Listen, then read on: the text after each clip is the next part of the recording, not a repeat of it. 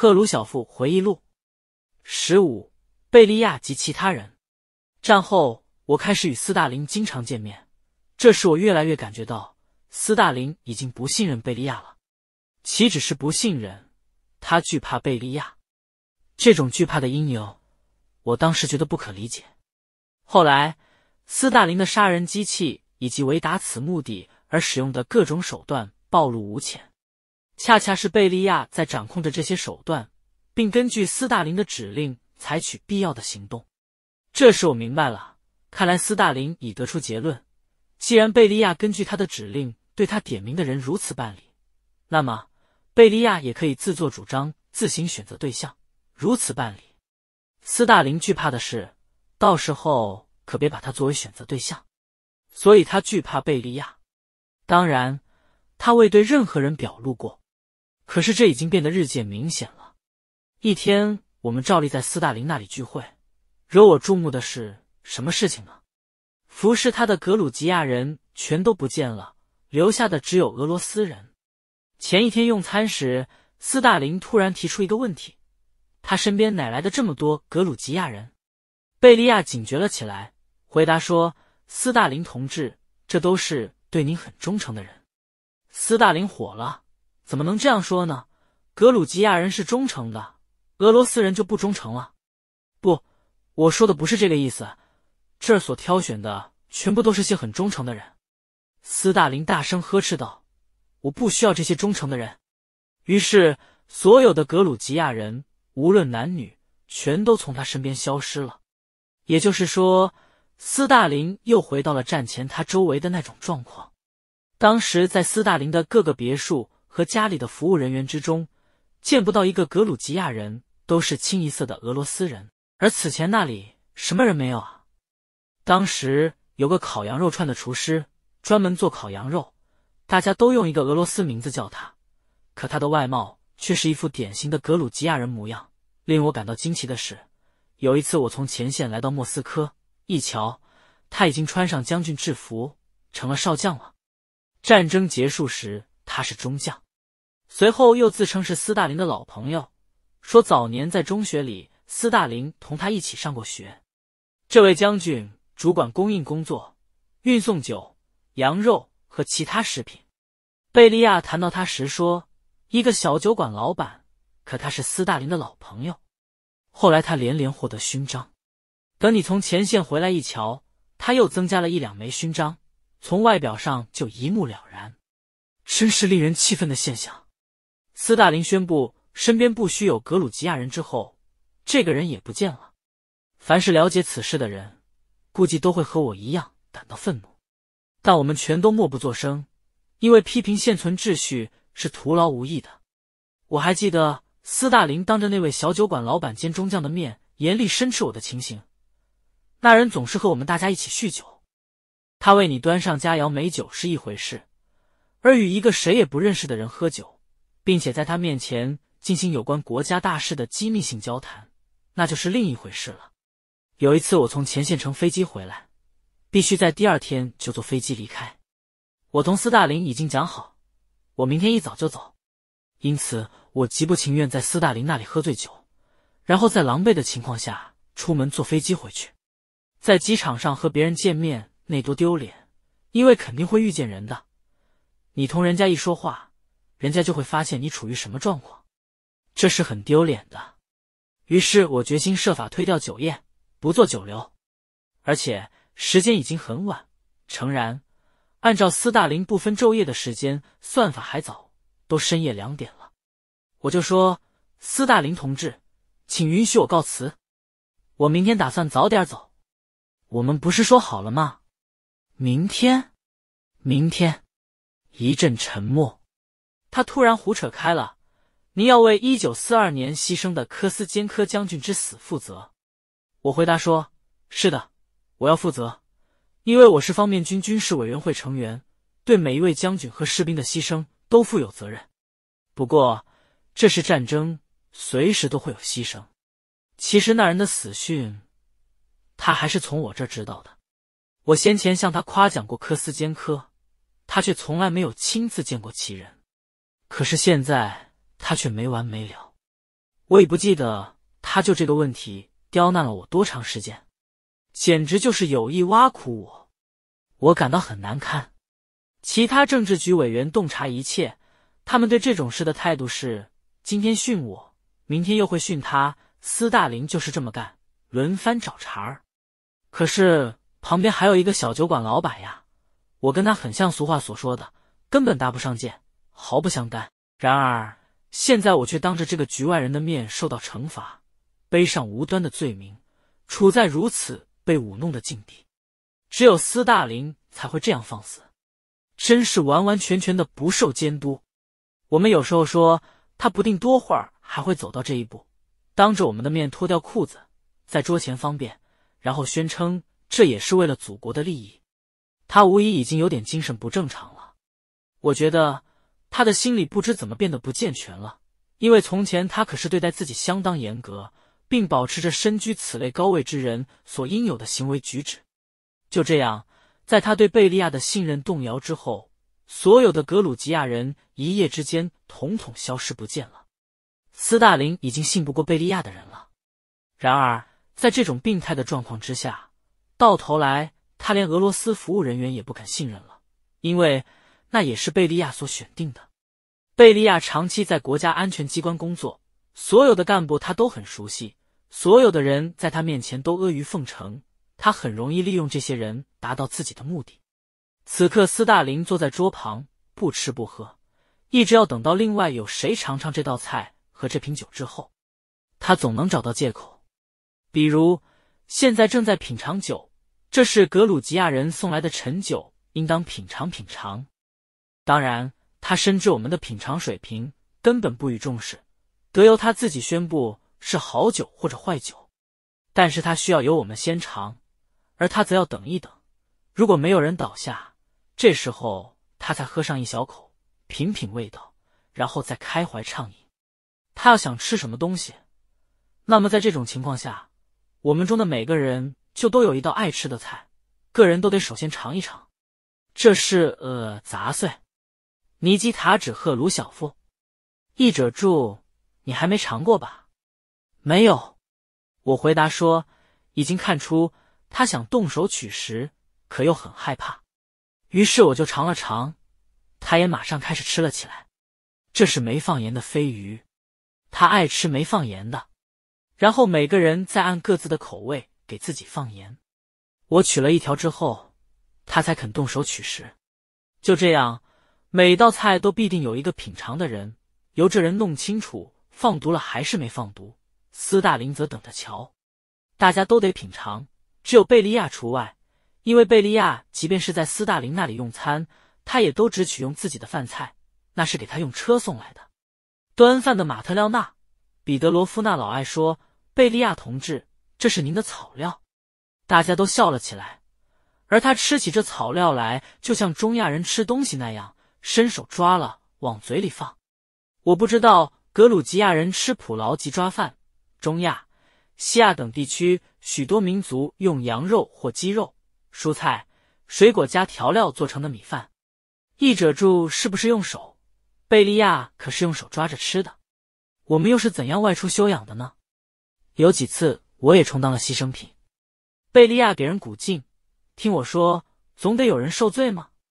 受罪的意思是，你得当斯大林正在高加索休养的时候去休养，这被视为对我们的惩罚。因为这已经不是什么修养了，要随时和斯大林待在一起，陪他度过没完没了的午宴和晚宴的时光。斯大林对我很好，每当他去休假，常常会邀上我，咱们一块走吧。您也需要休假了，走吧，我很乐意。我这样回答，其实巴不得不去，但又绝对不能对他实话实说。我还记得那次在博尔若米格鲁吉亚城市。矿泉和气候疗养地，译者住休养的情形。据我所知，那是他唯一的一次去博尔若米疗养。他从博尔若米给我打电话，当时我在索契黑海沿岸港口，苏联最大的海滨温泉疗养地和气候疗养地。译者注：米高扬在苏呼米黑海沿岸港口气候和温泉疗养地。译者注。所有在高加索疗养的人，加上正在上班的贝利亚，全都被他叫到了自己身边。于是我们在博尔若米齐集一堂。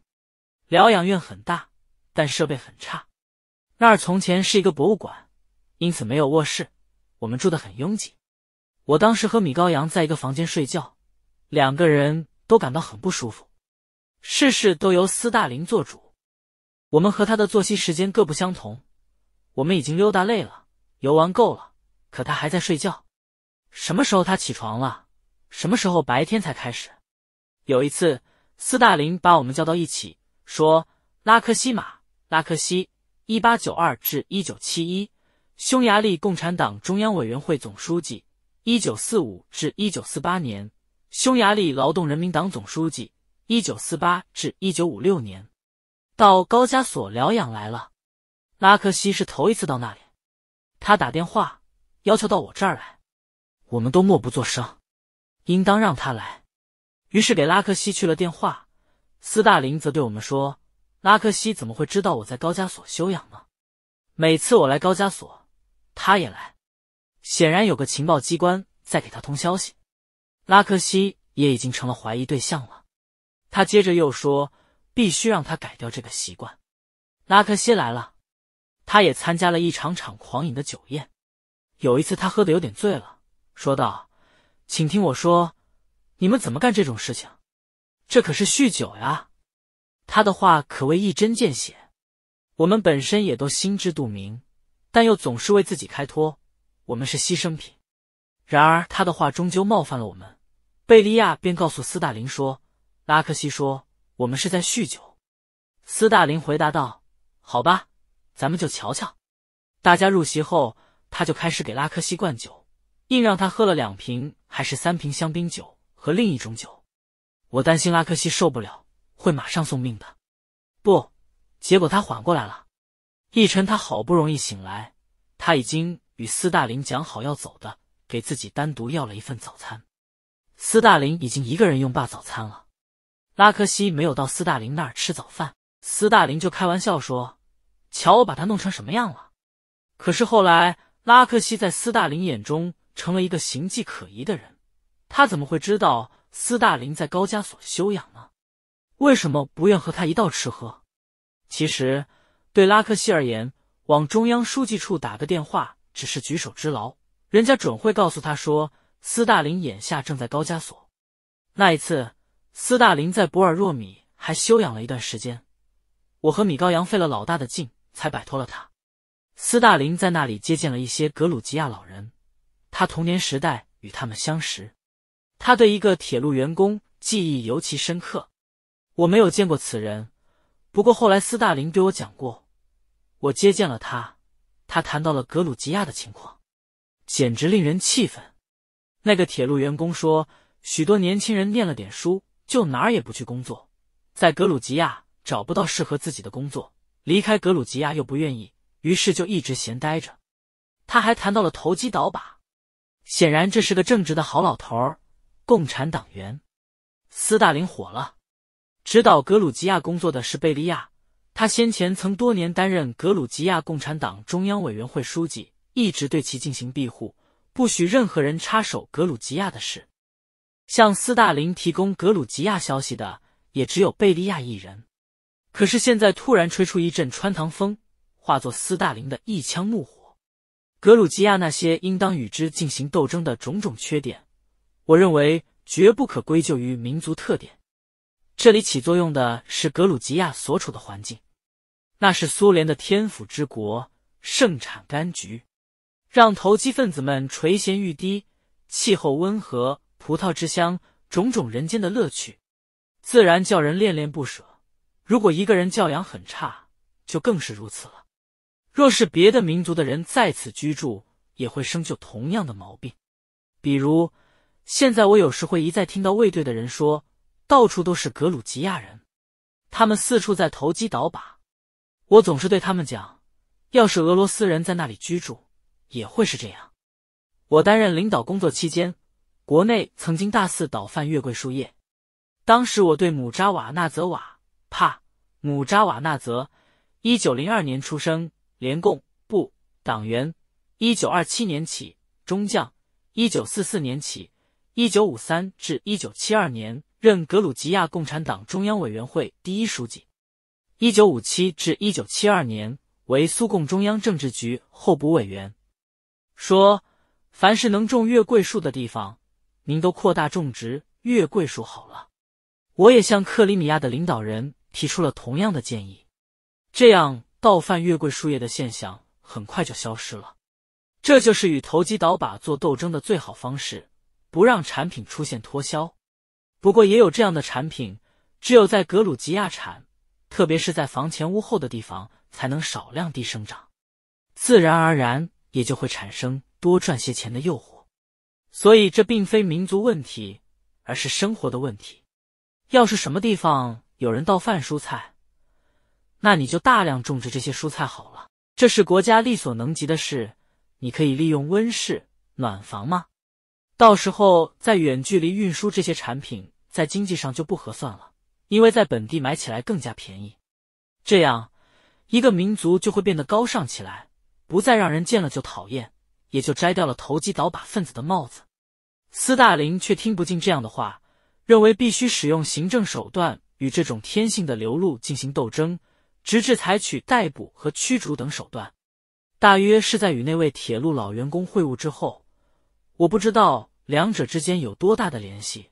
斯大林开始对贝利亚产生不信任。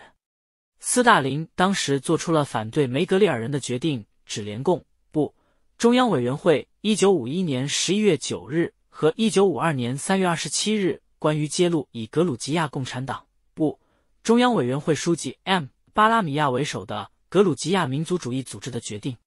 苏共中央委员会一九五三年四月十日关于苏联和格鲁吉亚苏维埃社会主义共和国前国家安全部违反苏联法律的决定，撤销了这两个决定。其中宣称，梅格列尔人以及西部格鲁吉亚人有一个阴谋组织，奉行亲近土耳其。脱离格鲁吉亚的政策，这明明是一派胡言，是近乎病态的臆测的结果。这一决定是针对贝利亚而来的，因为贝利亚就是梅格列尔人。斯大林不止一次强调这件事，硬将格鲁吉亚人划分为西部人和东部人，及卡尔特利人，说梅格列尔人不是真正的格鲁吉亚人。当时的格鲁吉亚共产党中央委员会书记是。《东方朝霞报》的前总编辑，他是继贝利亚之后担任这个职位的，当然是贝利亚推荐的他。我认为他是个不错的人，尽管我对他不太了解。当时展开了一场大追捕，事情甚至闹到斯大林提出将反社会主义分子从格鲁吉亚驱逐到西伯利亚的问题。那位中央委员会书记对此很不理解，因为他觉得师出无名。便没有表现出应有的热心。斯大林大发脾气，把这一切统统归罪到贝利亚头上，因为他就在身边。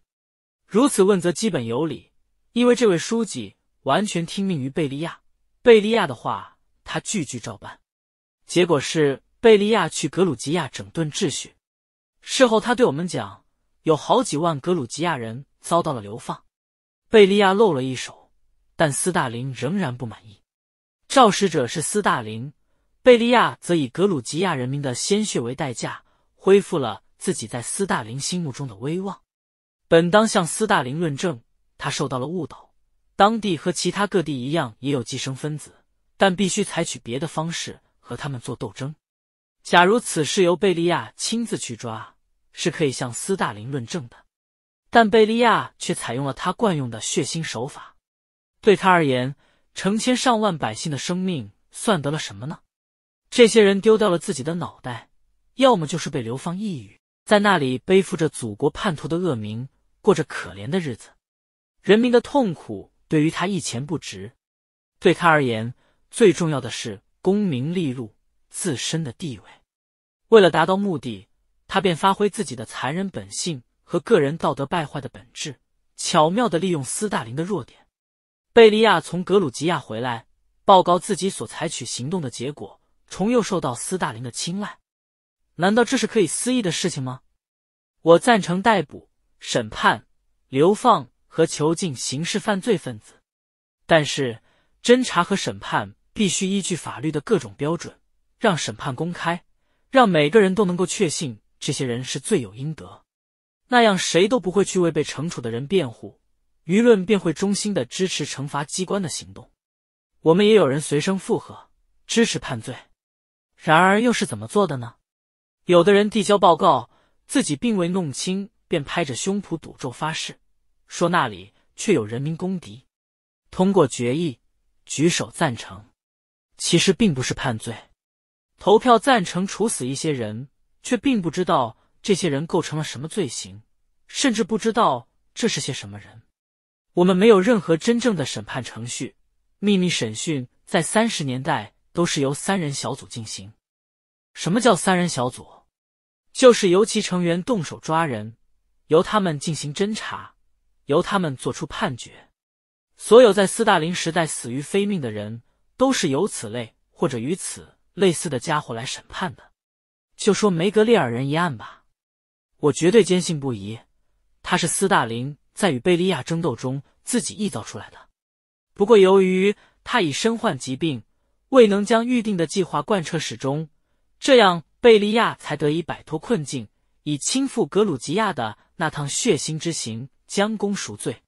当时他是自己死乞白赖要求到那里去的。